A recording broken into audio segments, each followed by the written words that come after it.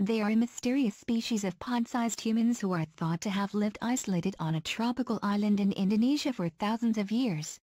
The hobbits of Flores, also known as Homo floresiensis, were believed to have even outlived the Neanderthals on their island paradise, surviving until just 12,000 years ago.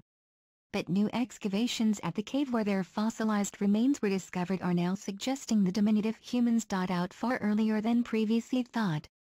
The study indicates the Flores hobbits disappeared around 50,000 years ago, meaning they probably did not live alongside modern humans as has been suggested in the past. Indeed, the findings raise tantalizing questions as to the final fate of this primitive human species and whether the arrival of modern humans on their island spelt their doom. Professor Maxime Aubert, an archaeologist at Griffith University in Queensland, Australia, said, Homo floresiensis seems to have disappeared soon after our species reached Flores, suggesting it was us who drove them to extinction. The science is unequivocal. The youngest hobbit skeletal remains occurred 60,000 years ago but evidence for their simple stone tools continues until 50,000 years ago. After this there are no more traces of these humans. The new excavations help to settle one of the many ongoing controversies surrounding the Flores hobbits. When they were first discovered, many anthropologists believed them to be Homo sapiens who were suffering from some kind of dwarfism or genetic condition such as Down's syndrome or endemic cretinism. However, recent studies have convinced many experts the hobbits were indeed a separate species. It is thought that tiny humans may have evolved from an older branch of the human family tree, perhaps Homo erectus, after being isolated on the island for up to a million years.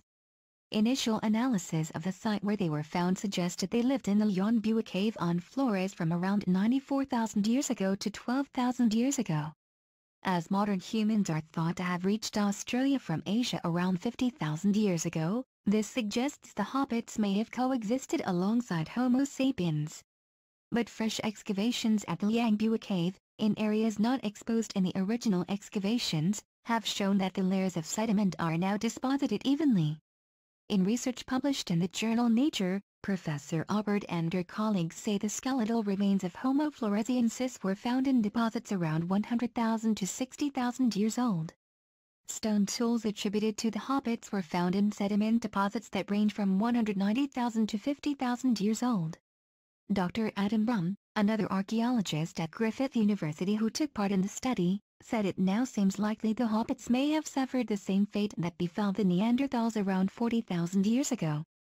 When our species, Homo sapiens, moved into their territory as they spread out of Africa, they simply outcompeted these other human species and replaced them within just a few thousand years. Dr. Brumm said, they might have retreated to more remote parts of Flores, but it's a small place and they couldn't have avoided our species for long. I think their days were numbered the moment we set foot on the island.